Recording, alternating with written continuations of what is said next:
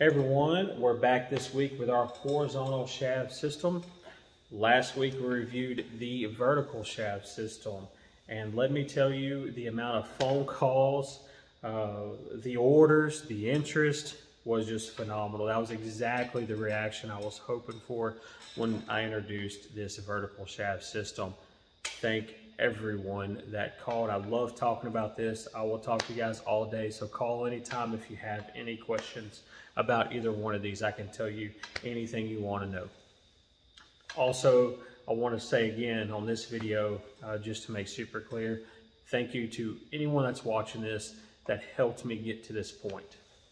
All right, so let's move in to the horizontal system. Up top is our Third Coast Performance Custom Air-to-Air Intercooler. Uh, that thing is awesome. It takes the, the heat coming off that turbo, drops it drastically, pumps cold air into there, same as it does on the vertical shaft. This one is, you know, forward facing, so it cools even better. On the back side, we have our steel flex fittings, again, to help with vibration.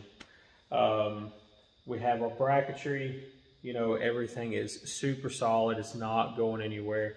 Uh, we have the turbo completely isolated, supported uh, with its own bracket away from the weight on the exhaust or anything. It is, it is all by itself and it's supported by its own bracket to take all the weight off the exhaust to help from, you know, the possibility of cracked manifolds, anything like that. And thank you guys uh, that helped with that design seems to be really, really solid. Um, and the hours we've put on a few of them so far, they have, man, they have held up. Uh, we haven't had a single issue. Like I said, this has been a lot of research and a lot of development, and this is where we're at now. Um, the same thing with the vertical shafts, everyone. Uh, you do not have to pull the heads off of it to put it on. It is the only system, vertical or horizontal, that is truly bolt-on. You just take your stock air filter cover off, air filter, and stock exhaust off, put our stuff on there, bolt it, and go. It is the only system to incorporate an intercooler. That's really our signature up there. Uh, you know, that was a custom thing, uh, custom cores that we had made, and it works phenomenal for these applications. The next thing that I want to go over is overall height profile. I kind of went over it last week, uh, said that I would review it again uh, when we revealed the horizontal shaft system.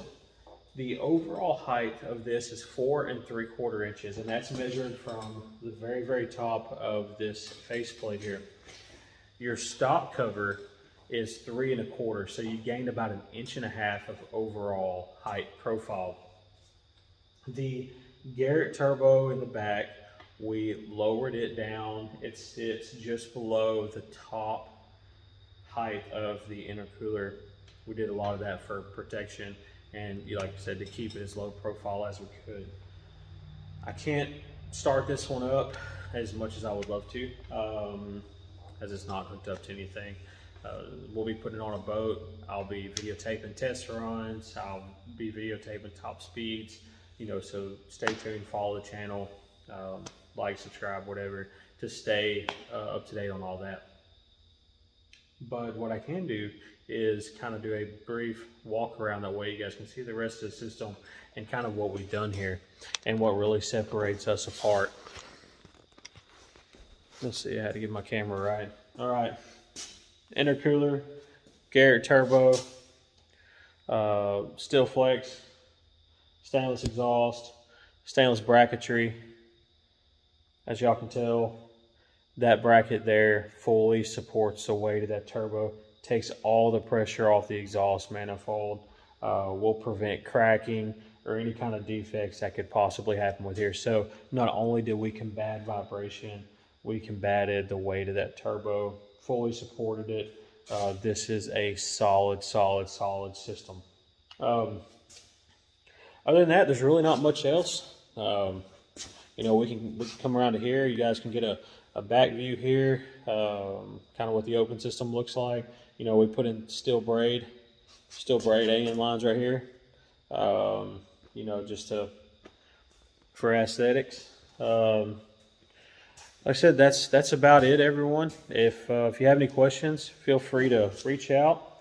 If you want to test run one, you know, see how your boat will run with a turbo kit, see how you like it and stuff like that. We have a couple extras here. Bring your boat on down. You know, we'll go have a day on the water. Put you know, put it on your boat at the boat launch, and uh, go test run it. Go see what it's about. Um, you know, I want you guys to be comfortable with these before you decide to purchase one.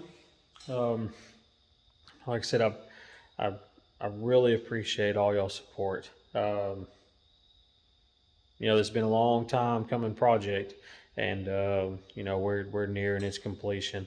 I love it, love everything about it, and it works great. So, and I hope you guys enjoyed this video. I hope I answered any questions that you may have about the system. If I haven't, feel free to call me. I would I would love to talk to y'all. Um, and so maybe we can get one on your motor. All right, everyone. I'll let you know. I'll keep you updated on speeds, and uh, we'll just keep on going. All right.